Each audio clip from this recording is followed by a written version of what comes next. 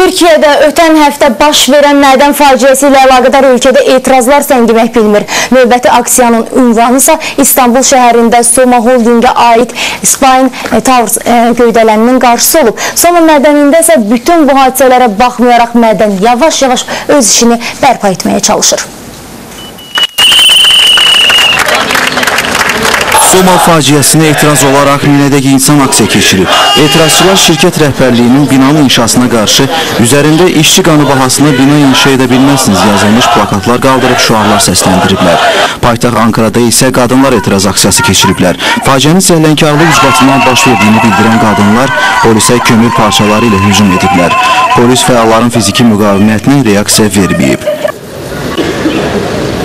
Bu arada Somada 301 nəfərin ölümünə səbəb olan qəza ilə əlaqədar istintaq çərçivəsində Soma Holdingin icraçı direktoru Can Gürkan da həbs edilib. Bununla da həbs edilənlərin sayı 8-ə çatıb.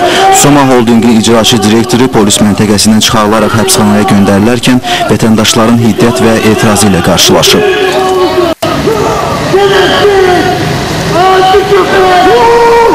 Faciədən sağ qalan işçilər isə ölüm riskini yenidən göz önünə almadan işə çıxıblar. İxlas Xəbər Agentliyinin məlumatına görə mədən işçiləri yaşanan faciənin ağır psixoloji sarsıntısından qurtulmamış, yenidən çörək pulu üçün yerin dərinliklərinə iniblər. Dövlət rəsmiləri mədəndə fəaliyyətini davam etdirmək üçün heç kimin məcbur edilməyəcəyini bildirmişdi. Somada partlayış zamanı 301 nəfər ölmüş, 485 nəfər isə xilas edilmişdi.